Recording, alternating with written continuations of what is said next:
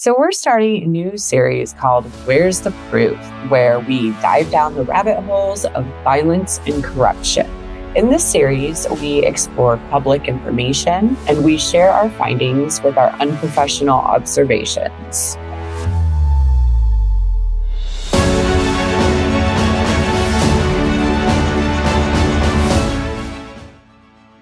I want to start our Where's the Proof series with an issue that's ripping through our nation right now. I'm referring to Child Protective Services and family court corruption. We're going to see what the law says, and we're going to explore some statistics and data to see what's really happening. We all know that corruption exists, but how deep does it truly go? Let's go exploring and see what we can find time to get our nerd glasses on for this. So we're going to start with seeing what the law says. We are going to go to the AmericanBar.org where they share information on removals and what the law requires. As you can see here, constitutional, federal, and state law are all pretty similar and or work together with the other laws. So you have constitutional case law, which only allows removal if there is imminent risk of substantial harm to the child. Federal law, then, in most cases, only authorizes removal upon judicial finding that remaining in the home would be contrary to the welfare of the child. And in addition to that, agencies are required to make reasonable efforts to prevent the need for the removal. State laws go on to state that most jurisdictions require that courts only allow removals when there is a finding that a child would be in substantial and immediate risk of harm, which reinforces constitutional case law. Now, Obviously, every state is going to be different. Every state is going to have their own individual laws. And I'll put a link down in the description for a website. You can get more information on that. And I'll also provide links for everything else that we discuss throughout this video. Okay, so now that we've taken a look at what the laws at the constitutional, federal, and state level generally say, I think it's made very clear that children are not to be removed from their home unless they are in imminent danger of serious harm. So, why are so many children being removed from their home if this is the law? We still haven't really seen much in way of specific reasoning as to why children are being removed. So, let's see if we can get a better understanding of of what's happening. The Child Abuse and Prevention Act was enacted in 1974. While there's been some updates, generally it's remained about the same. So let's hop over and take a look and see what that says. I have a PDF of it downloaded. Again, I can leave a link in the description below. So within the Child Abuse and Prevention Act, in section three for general definitions, it states the term child abuse and neglect means, at minimum, any recent act or failure to act on the part of a parent or caretaker, which results in death, serious physical or emotional harm, sexual abuse or exploitation, or an act or failure to act, which presents an imminent risk of serious harm. So again, it all stems together and works together, and all the laws generally say the same but still doesn't really provide a whole lot of information. So let's see what we can find in regards to a better understanding as to what CPS agents may be using for their reasonings. So, childwelfare.gov has this page on their website that goes through a bit more information that's a bit more detailed with exactly what is abuse and neglect.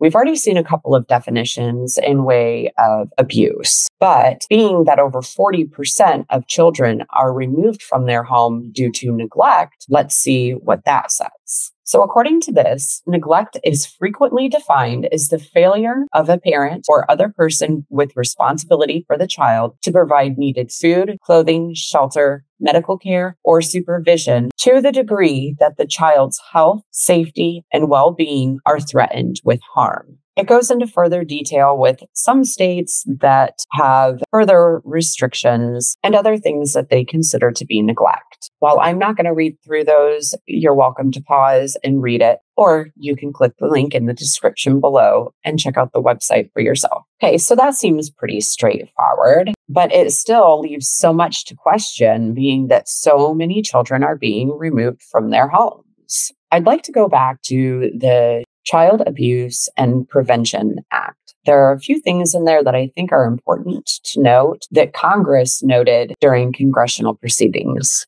So back to the Child Abuse and Prevention Act. And I scrolled up from where we were below for the definitions so that we can kind of get an idea of what's going on here. And I actually have some notes that I popped in along the way as I was investigating everything to kind of make it easier for me to remember exactly what it is that we're looking at.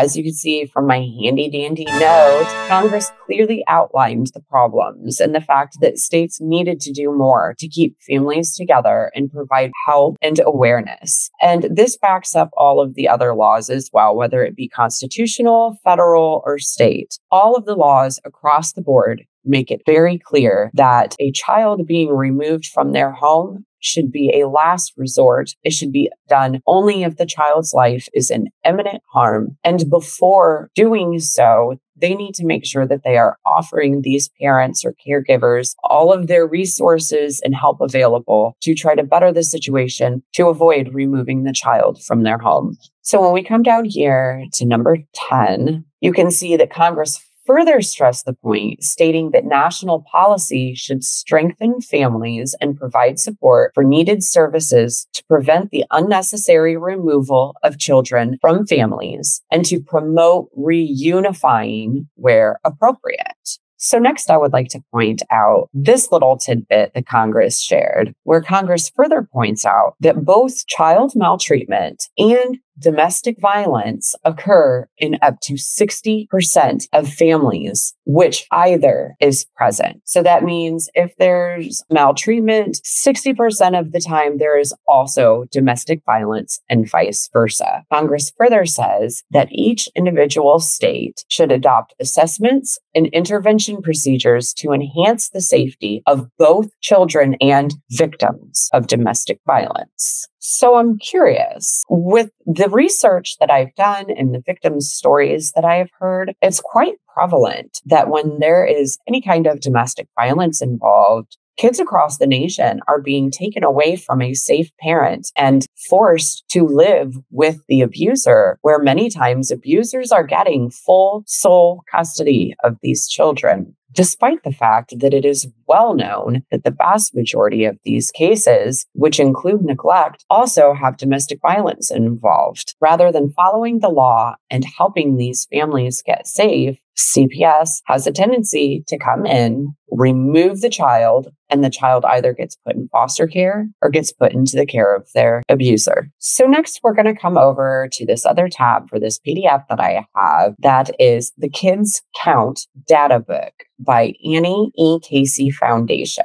So, this is going to kind of give us some more insight on what could be happening within families in America. This reflects that not only is childcare a very big problem, there are also a large percentage of families that have to change jobs. They have to quit their job and find a new job simply because they can't find affordable childcare or childcare that's dependable. So as you can see here, poverty is still a huge problem across the nation. This list kind of provides a bit more insight as to what's going on with children across the country. What are the trends that may be contributing to these neglectful situations? Now, I'm not going to go over all of this data, but I thought I would pull it up and give you the opportunity to kind of check it out and see what's happening. So, with the maps, they have overall well being the economic well being, education, family and community. They also have a more comprehensive list So I'm just going to scroll through these. And if you want to pause to read and, and see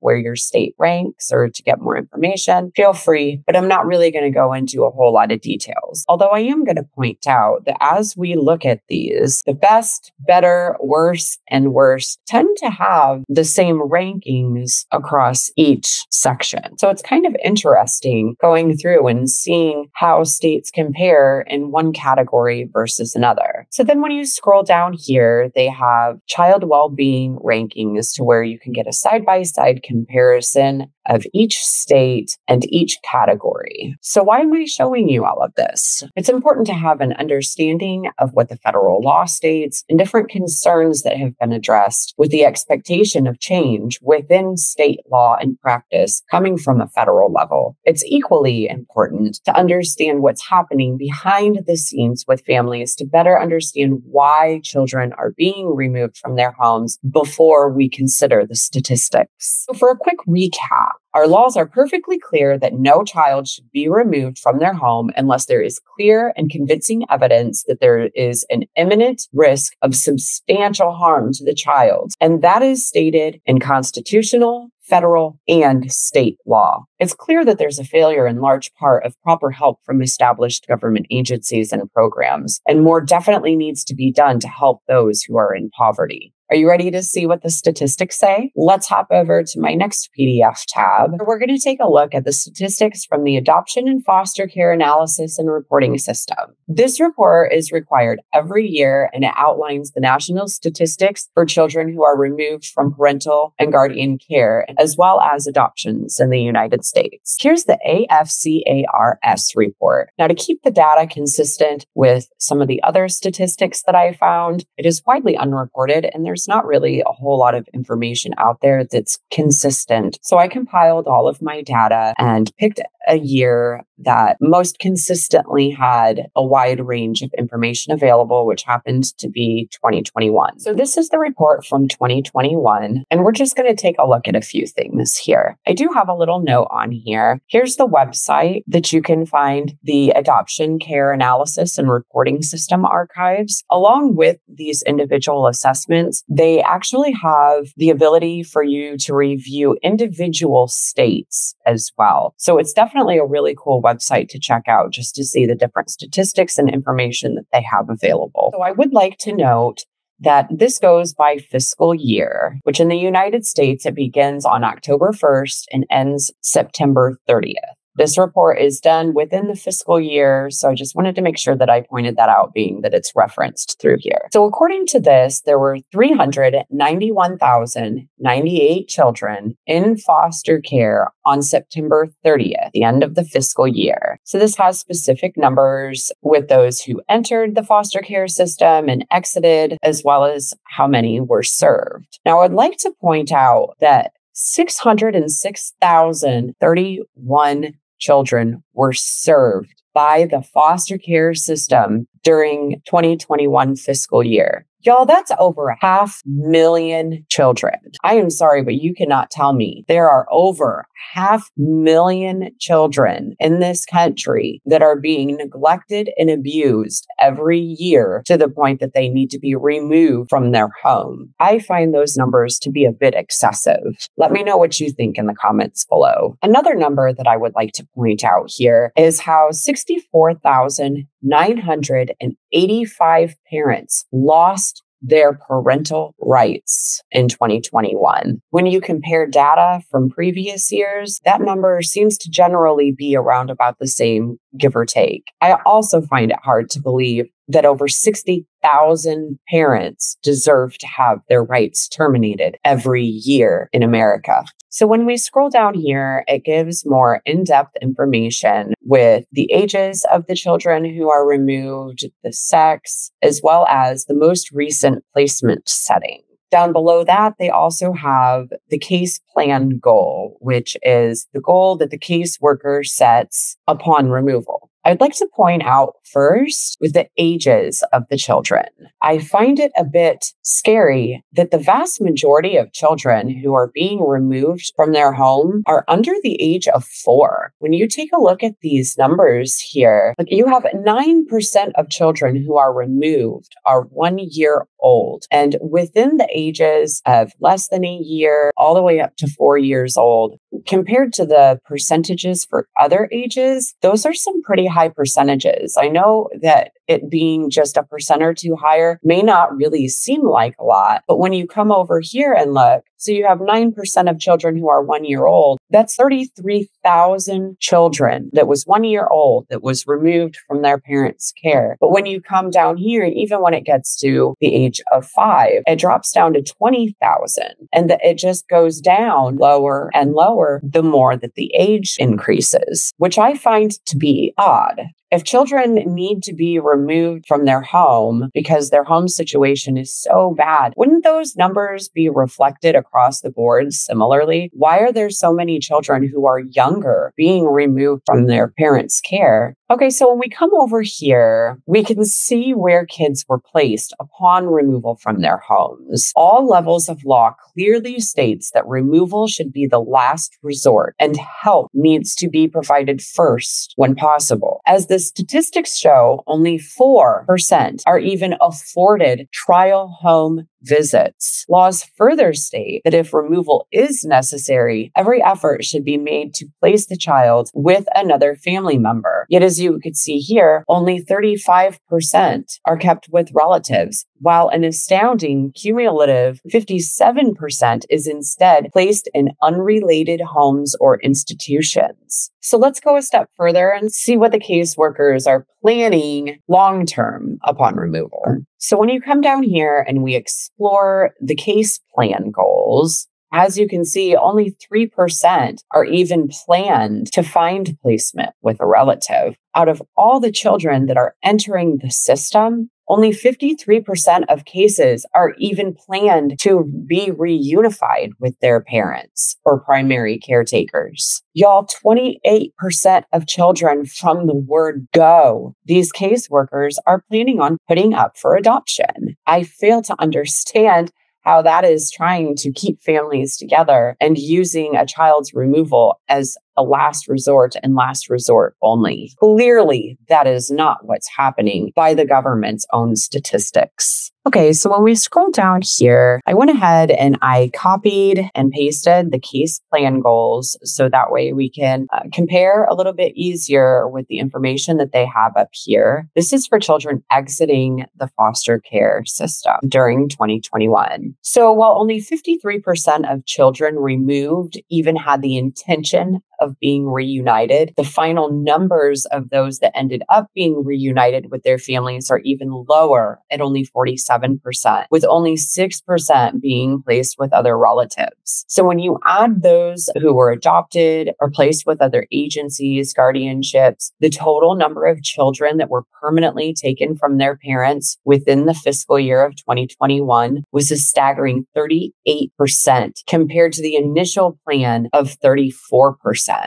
So rather than helping more families, they actually ended up permanently removing more children than what they had originally anticipated. So I did some research and I looked at a couple of few different news stories, different lawsuits and such that were filed. Well, we're going to take a look at some real reasons why children are being permanently removed from their parents' care. So NPR.org reports that parents are losing their parental rights for failure to re reimburse the government for bills that were incurred for their children being placed within the system. So CPS comes in and removes these children from their parents' care and then sends them a massive bill when they get their children back that the parents are required to reimburse the government for. So the NPR did an investigation and they found that there are 12 states that have this law that they can legally terminate a parent's rights just for owing this bill. So, how is that legal? So, they're cleared by CPS. CPS puts them back in their parents' care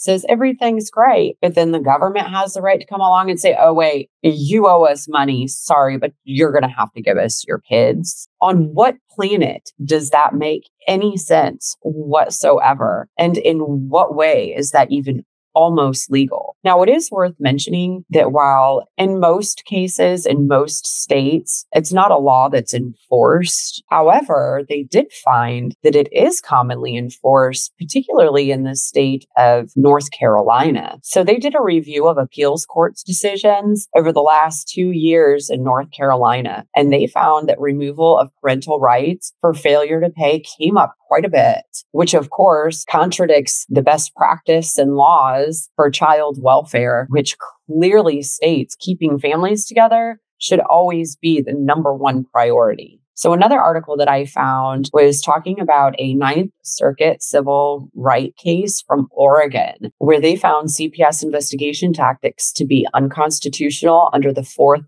and 14th Amendment. So, this case in particular cites practices of extensive interviews with children that were done illegally with intimidation and violated the Fourth Amendment as a seizure. The social worker was found to have lied to get an emergency removal order, violating the Fourth Amendment unlawful seizure and 14th Amendment due process, which don't be fooled, folks. This happens all the time it is very common for social workers to lie and take kids without any kind of legal standing whatsoever. And most of them get away with it. In this case, CPS further kept the safe parent away from the child undergoing an SA examination without consent or a legitimate reason to exclude the safe parent after allegations were made against the father. This was a violation of due process rights of the mother and child under the 14th Amendment.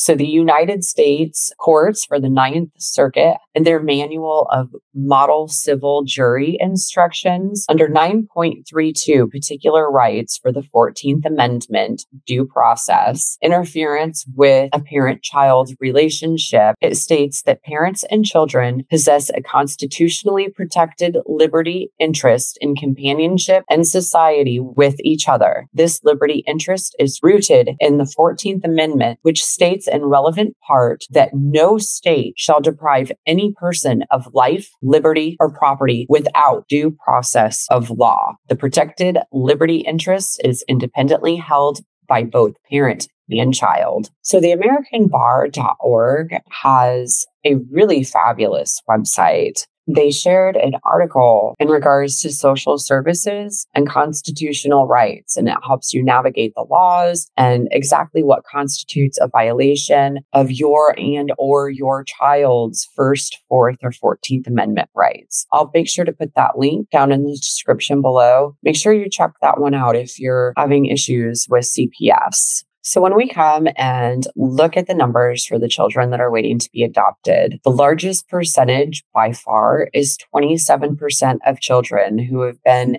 in care for less than a year. And this shows just how big of a problem it is that parents are having their rights terminated far quicker and for reasons against what the constitutional law affords. So when we come down here to the placement types, these are the placements for those who are waiting for adoption. And these numbers are heartbreaking, folks. Only 28% of children are being placed with a relative while they wait to be adopted out. 72% are placed with the system. Furthermore, only 1%, which is 604 families, were even given the opportunity to have trial home visits to even work towards a reunification. It's worth pointing out that more children are running away than what are given the opportunity to have trial home visits. Okay, so here we're going to start hitting into the big boy numbers. So these are the numbers for children that were adopted with public agency involvement.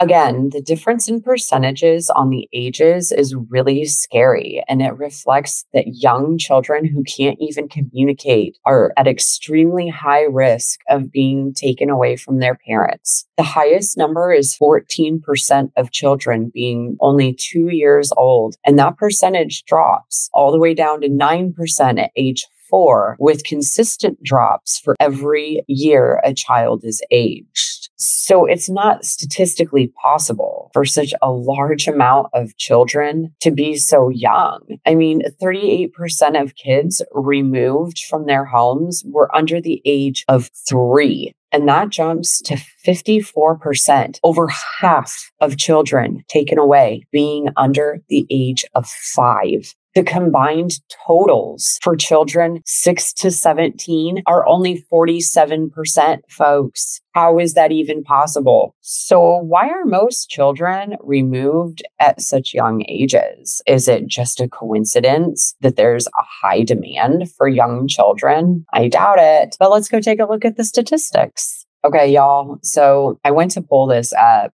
and I, I literally want to cry right now. I even I wasn't expecting this. And after seeing this, y'all, we have to do something. We have to do something. 98% people 98% of children who are sex trafficking survivors had previous involvement with child welfare services. So when we dive further into where that number is coming from, an unknown number of kids who disappear from foster care end up trafficked.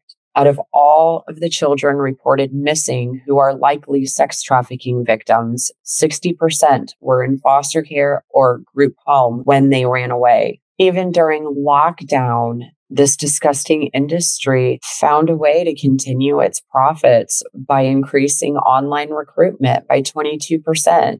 You scroll down more and you see that 85% of all commercial sexual exploitation of children in New York had a history with child welfare, with 70% of those spending time in foster care. This is the section where they talk about the 98% of children who are sex trafficking survivors having previous involvement with child welfare system. It says specifically that many were legally in the care and custody of the state while sold by traffickers. Now, how how is the government going to walk into these families' lives take their children away, force these children into situations and circumstances like this and then look these parents in the face and tell them what we have to offer and what we are going to do with them is far better than what you could do. So they're better off in our care. And I'll stick this link in the description below so you can check it out on your own time. Crazy stuff, y'all. Crazy stuff. So the statistics are very clear vast majority of these sex trafficking victims has everything to do with the state. The common denominator is CPS involvement. Okay, so now we're going to take a look at what the numbers say about how quickly parents are losing their parental rights. Of the children involved with public agencies for forced removals, 61% of parents had their parental rights terminated in less than one year. How does this reflect states helping families? How is it in the best interest for 31,716 children in the United States? Y'all, this is only for one year. So let's go check out the trends comparisons over an extended period of time from USA Facts to get a better understanding of the trauma being illegally forced upon hundreds of thousands of families, showing 1,139,900 rental rights terminated from the year 2012 to 2021. More than half a million families every year are threatened with having children removed. Here we have a study that was done by USA Facts about how many foster kids end up in permanent homes. Here with this data, we have trends throughout foster care and adoption, and this goes from 2012 until 2021. Through this 10 years, you can see, y'all, literally over 600,000 families every single year are being served within the foster care and adoption facilities. These are how many families are being investigated every single year. Look at these numbers, folks. Look at 396,000, 411,000, 421,000, 430,000. These are how many children are in foster care every single year. Every single year over the last 10 years, a minimum of 207,000 children are entering the foster care system. I would like for us to jump over here and look at parental rights that were terminated. Look at this, folks. Every year, around anywhere between 58 and 72,000 parents are losing their rights permanently to their children every single year. And almost just as many children are being adopted out. These children are being adopted just as quickly as parental rights are being terminated. I don't think that's a coincidence. So, further studies through the American SPCC, the Society for Positive Care of Children, shares national child maltreatment statistics showing reports versus findings versus outcomes. Being that it's hard to take neglect numbers seriously, considering the proven problems with inaccurate and unfounded grounds, let's focus on victims of physical and SA. This reflects a scary number of children who are suffering abuse. So, where's this coming from? Again, it's important to follow up and gain insight as to what's really happening. For that, let's explore what the statistics say about abuse, which, when it involves family, is automatically considered domestic violence by account of law. So the next PDF is the Department of Justice Criminal Victimization Report for 2021. There are more recent statistics, but for the sake of keeping our coverage consistent, we're sticking with 2021, since most recent years of reports across the board are spotty. Of 4,598,310 violent crimes reported in 2021, 48.9% of cases were due to domestic violence, with acts being committed by current or former intimate partners or family members. 50.7% of those cases were specifically classified as intimate partner violence, meaning violent acts were committed by a current or former spouse, boyfriend, or girlfriend. It's imperative to recognize that these are the cases that were reported to police. To get a more accurate idea of what's actually happening, let's scroll down for the estimates of unreported violence. So it's estimated that in the year 2021, only half of victims reported their crime of violence that was perpetrated against them. 2020 reflected even more crimes that went unreported. As you can see from this chart, violence doesn't care who you are, your age, your race, your sex, your status, or your income, nor does it care where you live. Only 20.2% of victims in 2021 received victim assistance services for intimate partner violence. Now that we have an understanding of overall violence versus cases classified as domestic violence and IPV, let's see what the numbers say with more detail in regards to the violence that accounts for all violence committed in the US. So while this information is pretty overly simplified, let's hop over to another PDF where we can get a little bit more detailed information. This next PDF that we're going to look at is from the US Department of Justice National Survey of Children's Exposure to Violence. It was published in 2012. It's the most recent one I could find. Uh, that PDF shows a correlation between child victims and offenders. So that way we can get a better understanding of who is doing what within the family dynamic. This really has quite a bit of detailed information in it in regards to children's exposure to violence. We're going to scroll down here to page four, where you can kind of get an idea of the age and sex of the youth and the type of threats that are made against them. So when we come down here to page six, this data from 2011, published in 2012, shows the type of violence committed against children in their lifetime and the past year, which ranges from a parent pushing them to they saw physical violence if the parent hit them or severely assaulted them. The next page here on figure two, you'll see that 7.8% of youth and 15.8% of 14 to 17 year olds were assaulted by an adult household member. 62% of perpetrators were the father. Only 12% were mothers. 11% was a boyfriend of the mother. 7% were another female and 8% were another male. When it came to a child's exposure to IPV, 90% were eyewitnesses, with 10% heard, saw, or were told about injuries. Among all cases, 69% of perpetrators were males, 23% were females,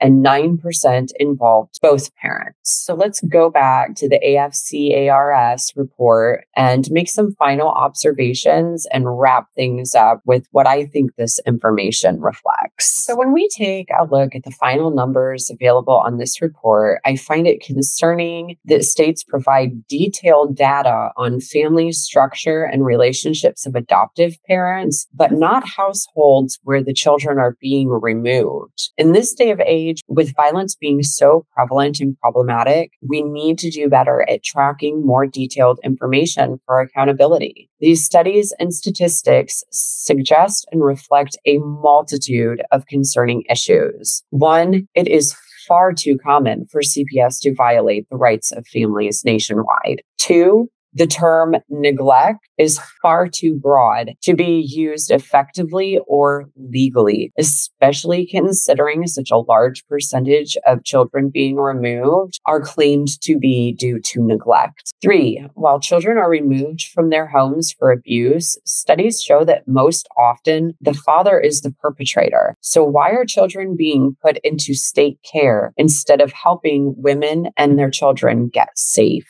So that further brings into question what's happening within our family court system in regards to custody, termination of rights, visitations. But that's our topic for next time. So I wanted to kind of work my way into that. That's my ultimate goal to cover is that is such a huge issue in the United States and in the world really I just thought it was really important that we kind of go over the statistics and the information and give us kind of a foundation for the further issues that we're going to be discussing and diving into. And, you know, if these numbers don't scare the shit out of you, then I don't know what will. I mean, the fact that so many children are being ripped out of their family's care and placed into a system which the government's own statistics clearly reflect those children are getting sex trafficked. And we do nothing. People, these are children, children. Why are we doing nothing? It's time that we step up and do something. And I totally understand for those who are just uninformed or have no idea what's really happening or the truth behind how deep this corruption truly runs. But if you just watch this, you don't get to use that excuse anymore. Sorry to burst your bubble, but it's time for us to wake up and take our heads out of the sand and help these children. They're innocent victims that don't deserve to be treated this way. So we hope that you'll join us as we go down the next dark rabbit hole of family court corruption. Have a great day. Bye.